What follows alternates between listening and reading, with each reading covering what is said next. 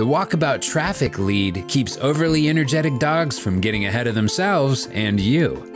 It's ideal for walking with your pup in crowded areas by keeping him closer to you so he can stay focused on the path ahead.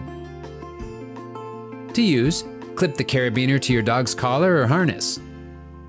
Adjust the length of the lead by sliding the webbing through the metal slide hook. Once you've adjusted to the desired length, you are ready for adventure. If you need to be hands free for a moment, the leash can also be used as a stationary tether without unhitching your dog from the leash. To use as a tether, slide the webbing loop off of the metal hook and wrap around the stationary object.